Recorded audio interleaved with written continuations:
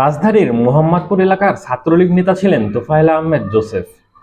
অভিজাত পরিবারের সন্তান জোসেফের বড় ভাই ছিলেন মেজর জেনারেল আজিজ আহমেদ, যিনি বর্ডার গার্ড বাংলাদেশ অর্থাৎ বিজিবির সাবেক মহাপরিচালক ও পরে সেনাপ্রধান হন।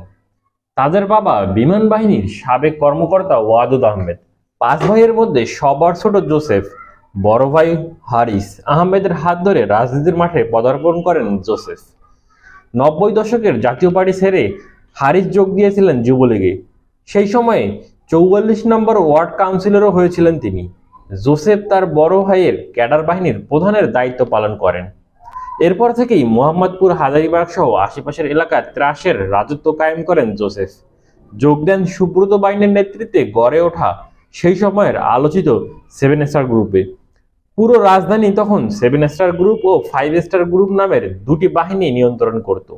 এভাবেই শীর্ষ সন্ত্রাসী তালিকায় নাম উঠে আসে জোসেফের। উনিশশো ছিয়ানব্বই সালের সাত মে, মোহাম্মদপুরের ব্যবসায়ী মোস্তাফিজুর রহমানকে গুলি করে হত্যার দায়ে শীর্ষ সন্ত্রাসী তোফায়েল আহমেদ জোসেফকে উনিশশো নিরানব্বই সালে মৃত্যুদণ্ড দেন বিচারিক আদালত। এই রায়ের বিরুদ্ধে জোসেফ আপিল করলেও মৃত্যুদণ্ড বহাল রাখে হাইকোর্ট। পরে আপিল বিভাগে এই রায়ের সাজা কমিয়ে যাবজ্জীবন কারাদণ্ড দেওয়া হয়। কারাগারে বন্দি জোসেফ চিকিৎসার জন্য বিশ মাস ধরে বঙ্গবন্ধু শেখ মুজিবুর রহমান মেডিকেল বিশ্ববিদ্যালয়ের হাসপাতালে কারাকক্ষে ছিলেন। জোসেফ অসুস্থ না হয়েও দীর্ঘদিন ধরে চিকিৎসার নামে আরামাইশ করছেন বলে সংবাদ মাধ্যমে খবর প্রকাশিত হলে তাকে কারাগারে ফিরিয়ে নেয় কারা কর্তৃপক্ষ। কিন্তু কীভাবে দেশ ছেড়ে পালিয়ে গেলেন এই জোসেফ, সেটাই হচ্ছে আজকের ভিডিওর মূল বিষয়।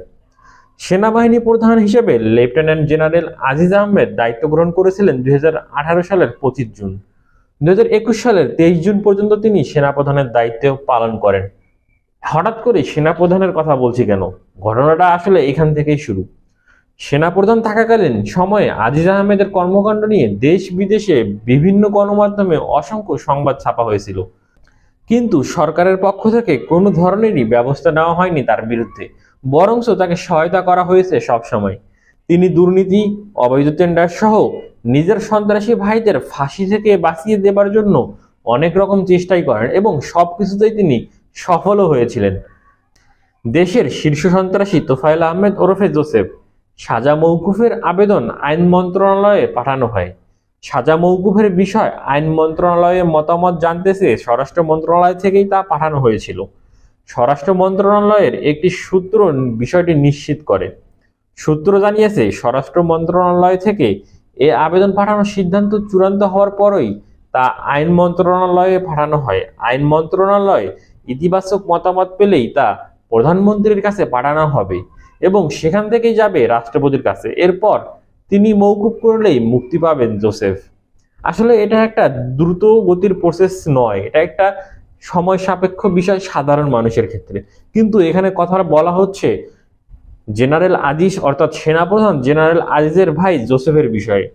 এরপরেই বিভিন্ন কারণ দেখিয়ে জোসেফের সাজা মৌকুব করার জন্য তোড়জোড় শুরু হয়ে যায়। বহুল আলোচিত এই সন্ত্রাসী খুনের দায়ে প্রথমে মৃত্যুদণ্ড হয়েছিল, পরে সাজা কমিয়ে যাবজ্জীবন কারাদণ্ড দেওয়া হয়। প্রথমে জোসেফের মা রেনুজা বেগম তার সন্তানের সাজা মৌকুফের জন্য আবেদন করেন। তাকে অন্যায়ভাবে নাকি সাজা খাটানো হচ্ছে বলে তিনি দাবি করেছিলেন। এই আবেদনে কাজ না হলে পরবর্তীতে জেনারেল আজিজ তার প্রভাব খাটিয়ে কারা কর্তৃপক্ষকে দিয়ে আবারও আবেদন করেন। যে কারণে জোসেফেকে কারা মুক্তি হয় এবং উন্নত চিকিৎসার জন্য বিদেশে যাবার অনুমতি পান। পরবর্তীতে এমিরেটসের একটি ফ্লাইটে জোসেফ মালয়েশিয়া গেছেন।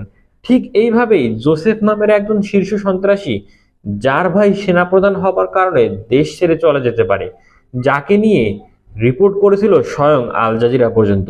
তো এই ছিল জোসেফ সম্পর্কে আজকের ভিডিওটা। যদি ভালো লাগে থাকে লাইক কমেন্ট শেয়ার এবং সাবস্ক্রাইব করতে ভুলবেন না।